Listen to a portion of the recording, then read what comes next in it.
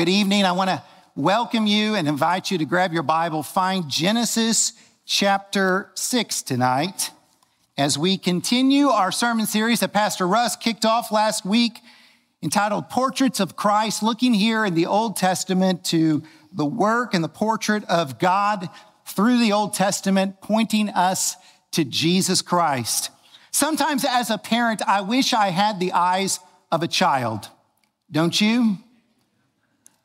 I remember when Owen was small, we were driving down in our Jeep down our road there in Kansas City. We had the top off. It was a warm, sunny June day. And I turned down a road that I soon realized was the parade route. And lining the parade route were rainbow flags. And your response was my response. Oh, Wesley, what have you done? In the moment, it was that young boy in the back seat, strapped into his car seat, that looked with a blue eyed, childlike spirit that screamed out, Hey, daddy, look, these people are celebrating Noah and the ark. What I saw was the aggressiveness of a carnal culture my boy saw as the promise from our Christ.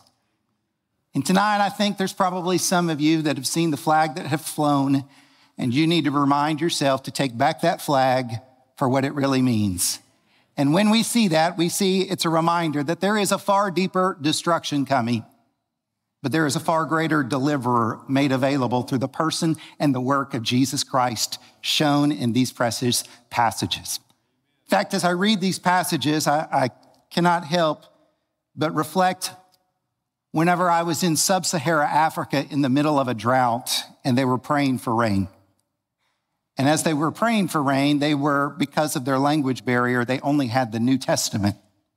And so I shared with them, as I had an English Bible, I preached. I preached the Old Testament, I preached this passage, and they changed the way they prayed that the Lord would give them rain, but not this much rain. It's a reminder how even tonight we get to set with our Bibles in front of us, a precious, precious sound, and we get the Old Testament and the New Testament. We have that as an honor that not all believers around the world have. And so, as you have that privilege, I'm going to ask you to stand with me tonight in the honor of reading God's Word. Draw your eyes, chapter 6. Just want to start with a few verses beginning in verse 5.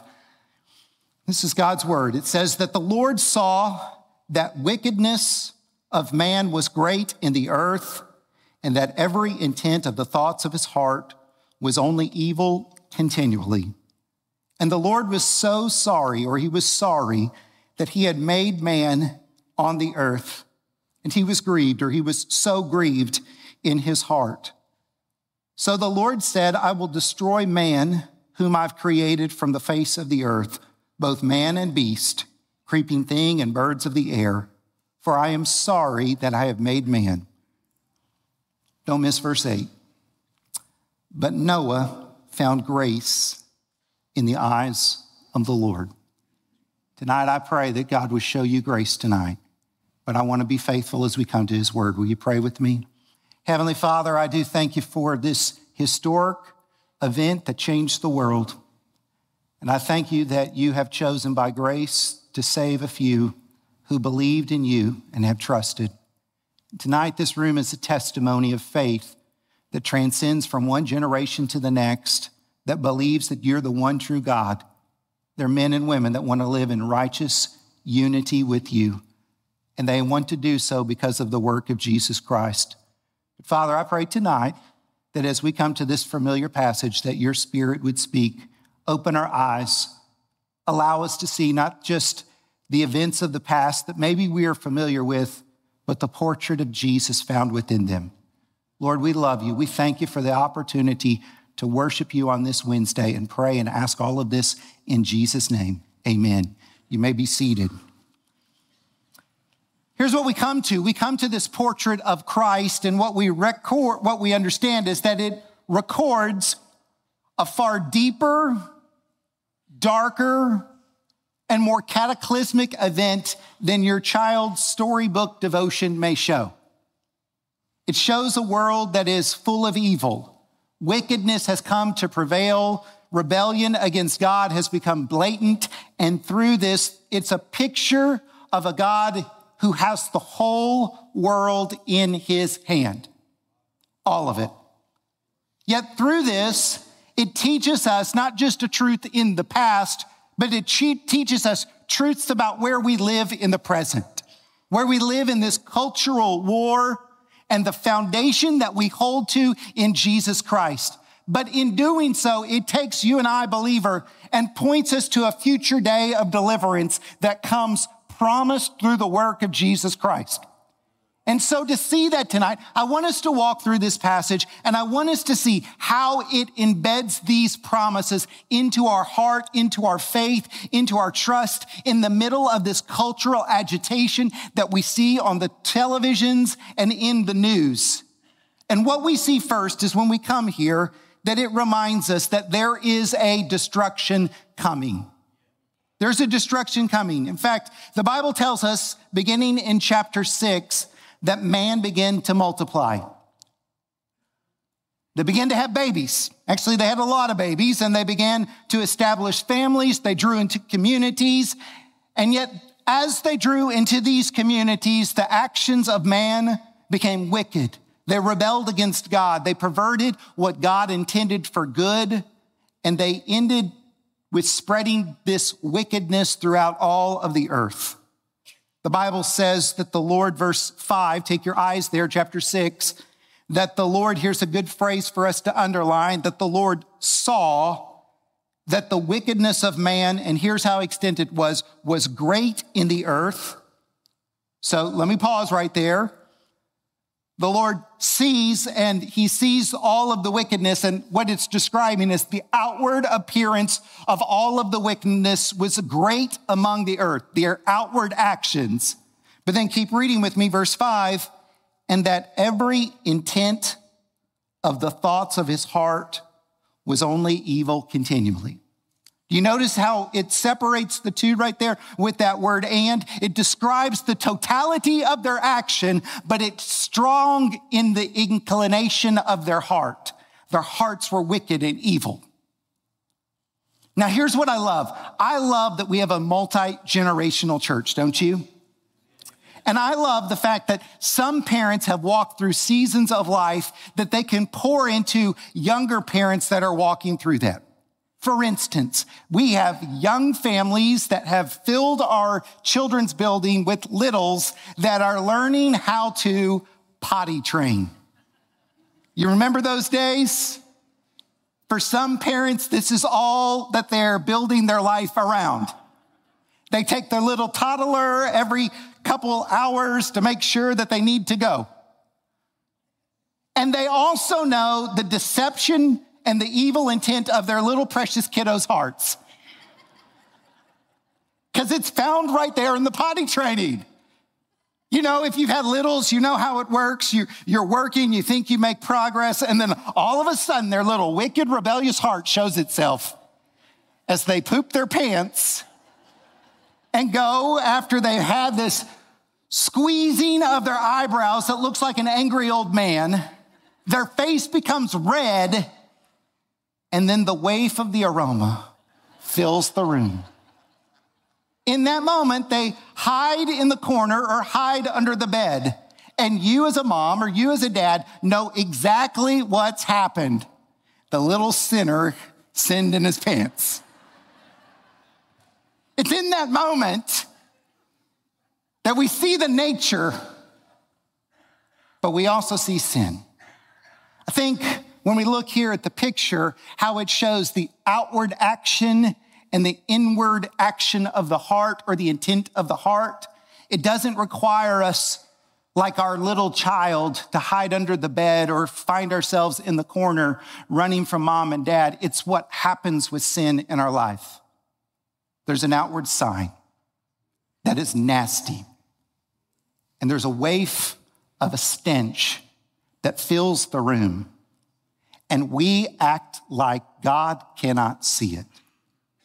Verse 5 What's the word I said, the phrase we needed to underline or mark down?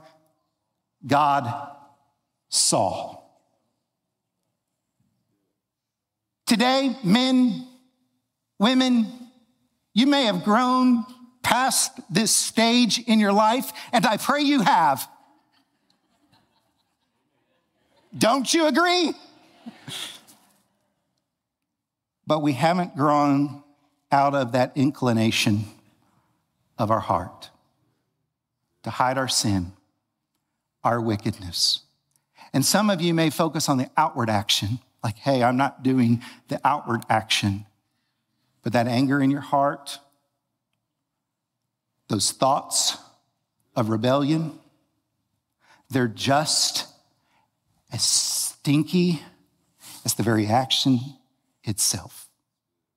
And the Bible says that God saw the action. Today, God sees the action. There's not an action of man or woman that's beyond the scope of the Lord. He sees all the way from Africa to here in Springfield. He sees around the world. He knows every intention of your heart. He's the all knowing God. That's what Genesis chapter 6 is reminding us. The Bible tells us within this that these actions taken personally by man have judgment that's coming upon them. Take your eyes, verse 11, because the Bible tells us that God acts punitively. He's going to judge the people that are wicked and rebellious. He says, verse 11, that the earth was also corrupt before God and the earth was filled with violence. Now, let me just stay right there, not trying to completely gross you out with this imagery, but you understand that when the smell comes across the car or across the room, it's not the little toddler that feels the pain in their nostril. It's everybody else in the room.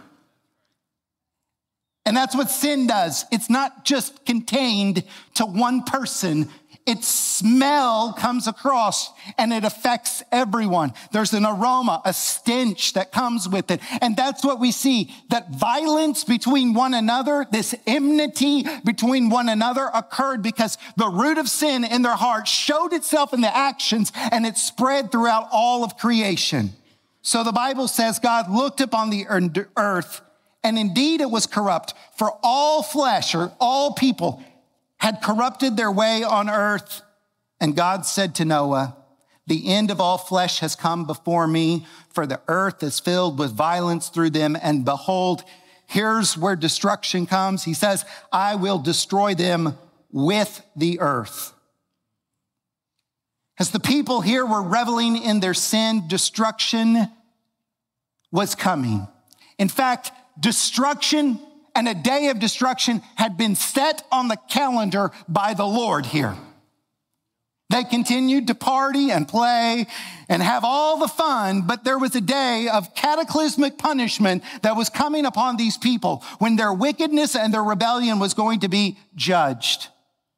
Hmm. Don't you think we need to be reminded of this as well? Because as serious as the judgment here in Genesis chapter 6 was, there's a far greater judgment coming. Because there is a perfect judge that will judge one day every man, woman, and child. He will roll out a great white throne and he will bring before those any and everyone who has not confessed him as Lord, and he will judge them. Judgment is coming. But the Bible says that today, He's the only one that knows when that day of judgment is going to come, just like in Noah's day. And when he recognizes the date fixed upon the eternal calendar in which all creation rebelling against him will be drawn to a day of judgment, in that moment, there is only one hope, and that is hope in Jesus Christ. He gives you not a judgment coming for those in Christ Jesus, he gives you hope in it. And how do we know that? Because here in Genesis chapter 6, when you and I ask the question, So, Pastor Wesley, destruction is coming. How can I be saved? Here's how you could be saved. You have to understand, secondly, that there is a direction given.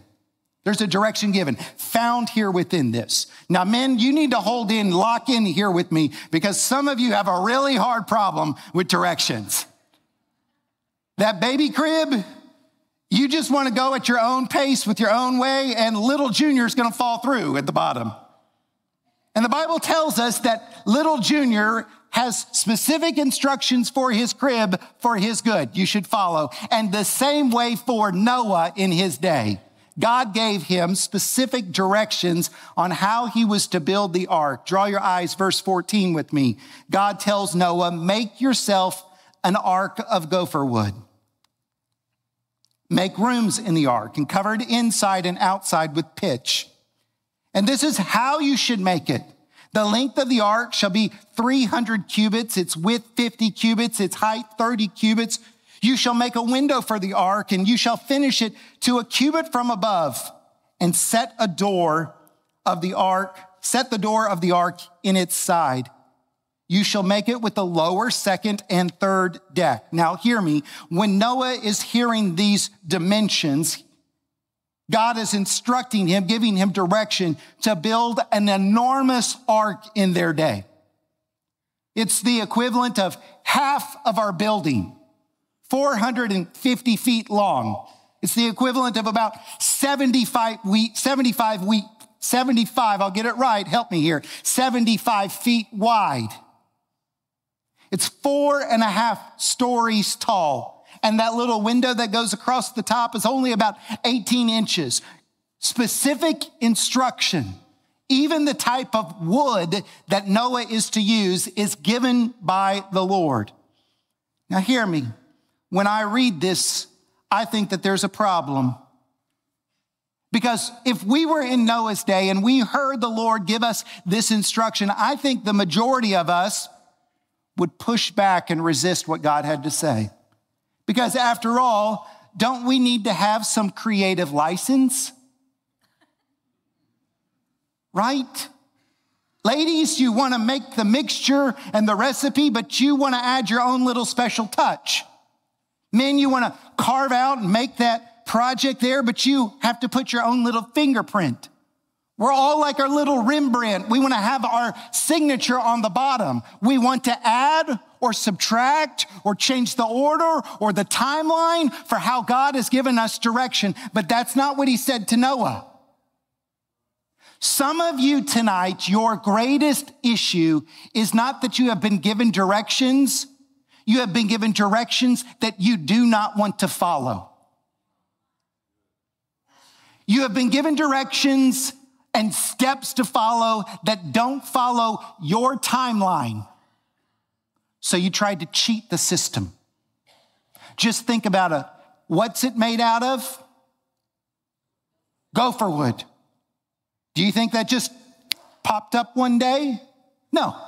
The Lord had to take that little sprout of that wood and grow it. It took time.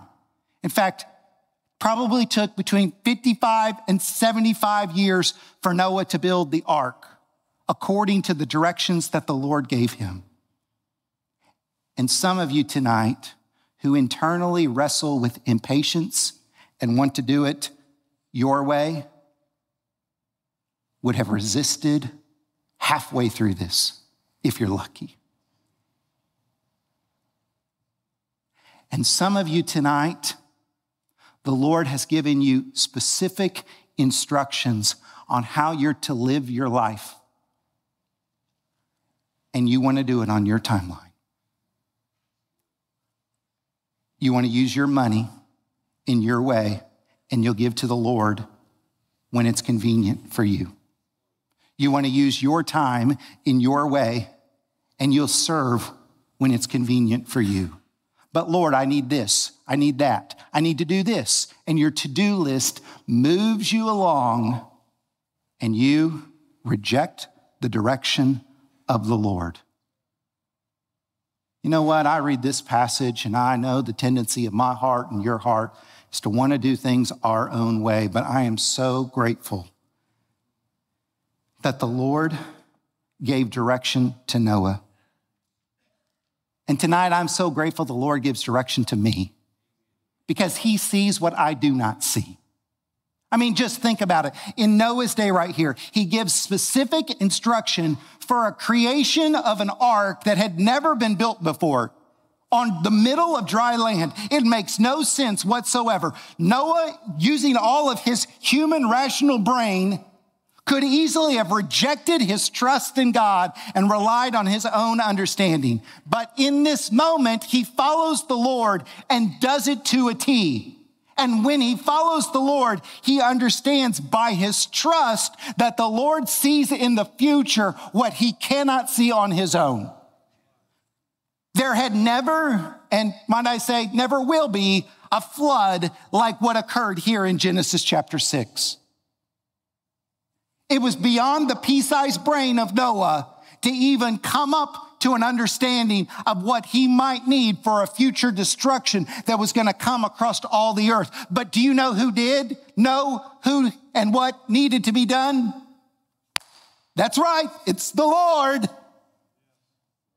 And tonight, in the same way, he knows exactly what you need in your life for future events that's not even on your pea sized brain radar. And yet he loves you and he gives you his word so that you can understand what his instructions are. This is what we see right here. The Bible tells us that God gave Noah this instruction, detailed instruction that point throughout the book of the Bible all the way through to Jesus Christ. No one comes through the Father except through Jesus. Tonight, there may be some who sit in this room and are watching online, and quite honestly, you hear this story of Noah and you say, I don't want to have anything to do with a God like that. I don't want to have anything to do with a God who would drown the world. But hear me. It's not Noah and the world, Noah and God that were the problem. It was the world that was rebellious. It was the world that was wicked. It was the world that rebelled. It was the world that had evil intentions in their heart and evil actions by their hand. It was violence, and it's what spread across the world. It was the heart there. And so God did not need to be judged, but man. There's a destruction coming, there's direction giving. Here's a third there's an invitation offered. In 2 Peter, it would tell about Noah. He would say how God did not spare the ancient world, but saved Noah, one of eight people, a preacher of righteousness. As I made mention, it probably took between 55 and 75 years to build the ark. And so every day Noah would go out, he would harvest these trees, he would carve the beams, he would fasten them together. And over a period of time, it would rise above the tree line, four and a half stories tall, and it would showcase a testimony to all the world that something was different about this man. And can you imagine with me how many conversations of people that came to Noah and they're like, Noah, why are you building this ark? What are you building? Why are you doing this? And over and over and over, Noah was giving these gospel conversations, telling them that there was deliverance available. If it wasn't enough in the material nature of the ark, men just think of this. Some of you really, really like to hunt. This is like prime hunting right here. Every species on the planet is walking right by you, two by two. You want that zebra rug? You want the lion? You want the buffalo? You want that mule deer, that mule deer? Over and over and over. It's like I would be a hunter in delight right here. God has gathered all of the creatures, that pheasant that flies, it's right through here. And each one of those rugged men are hearing a testimony as the animal and the elephant walk by. Why are these animals coming to this ark? Oh, it's because there's an invitation given to them to come. Tonight, that same invitation is made available, but many in the world would reject it. Why? It's because narrow is the gate and difficult is the way that leads to life, and there are few who find it. In Noah's day, there was a narrow wooden ramp that led to salvation.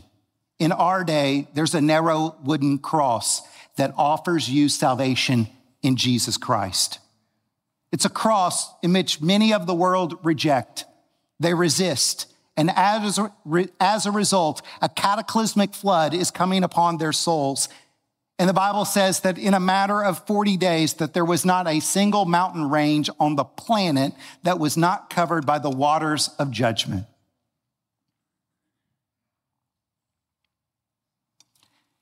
Can I tell you what breaks my heart most about this passage?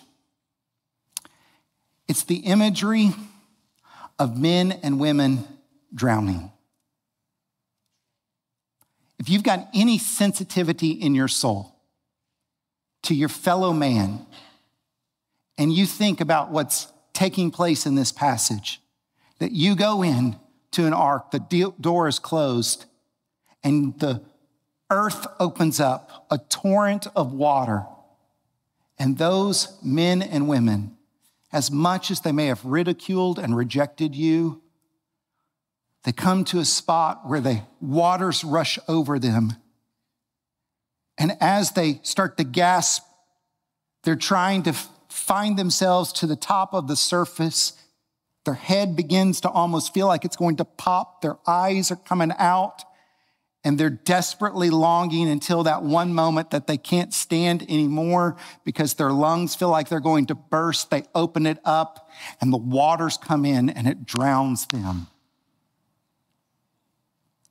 I think drowning and burning by fire are the two worst deaths. And the Bible tells us that one day there's a ju- judgment that's coming, that the Lord's not going to come and he's going to flood the earth like he did.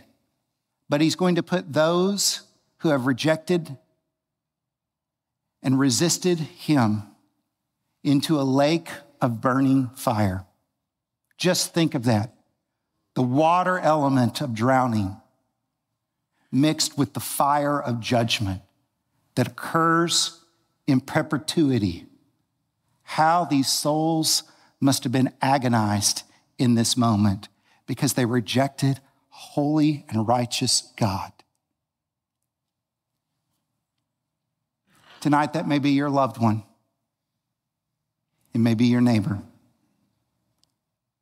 It may be the person that pulls up next to you at the car line or walks next to you at the grocery store. It's when, ladies and gentlemen, our souls care for our fellow man that it changes us. And we, and the nature that we have, don't want harm to come to them. And so we say, there is an invitation offered. Come, come to Jesus. It's not come to Buddha. It's not come to Joseph Smith. It's not come to something else. It's come to Jesus. And in the Bible here, that's what we see, that there is an invitation offered. This is why I love this portrait of Christ. It provides hope to us that one day us in the ark of Christ will receive safe passage and we will come to a place where we have a new home and a new earth. Let me draw one final point out of this that there is a new creation to be experienced. Take your eyes after this violent cataclysmic flood Take your eyes to verse 10 of chapter 8. And it's describing how Noah had waited on the earth, waited on the ark. Rains had subsided. He released an animal, a dove, and the Bible says he waited yet, verse 10, he waited yet another seven days, and again he sent the dove out from the ark. Then the dove came to him in the evening, and behold, here it is. Don't miss it. A freshly plucked olive leaf was in her mouth. And Noah knew that the waters had receded from the earth. All of the earth was judged, destruction had come, but God, in his plan, had planned for a new creation to come forth. And it's found right here in this olive leaf in the mouth of a dove that all of this for Noah and his family who felt like everything and all of their life was going to be upon the ark now has the promise that new creation, new life has come. Today, the Bible tells us that same truth, that a far greater creation will come. It will come after the day of destruction where there will be a new heaven and a new earth. There'll be streets of gold. It will be unlike anything that we can wrap our minds around. And it has beauties that we can't even fathom. It will be a new place for those who have a new heart in Jesus Christ. And tonight, you and I, we have that promise that we can look beyond the coming judgment to see the promise of Christ and his presence in our life. I'll close with this. It says in Matthew that people went around eating and drinking, marrying. They went around partying in all their life while Noah was building the ark. It reminds us that there's a lot of distractions in our day that can take you away from the promise that comes through Jesus Christ. They can take you where you're sidetracked with this and that and this. And you miss that one day judgment's coming. The only way to be delivered is through the cross of Jesus Christ, the door, the one who has made the way. And tonight, Jesus is inviting you to come. Come not like an animal, come to be a son, to be a daughter, to come into the ark covered by the blood of the Lamb that will save you from the destruction that's coming. But you got to come like Noah, believing in the righteousness of Jesus, coming by faith Thanks for watching this sermon. We hope and pray that it's been a blessing and an encouragement to you in your walk with the Lord. If you have more questions, or maybe you're that person who's looking to take their next step in their walk with Christ, we love nothing more than to connect with you through our website. For service times and information about other events and activities at Crossway, you can connect with us at crosswaybc.org. May the Lord bless you and keep you. We hope to see you again soon.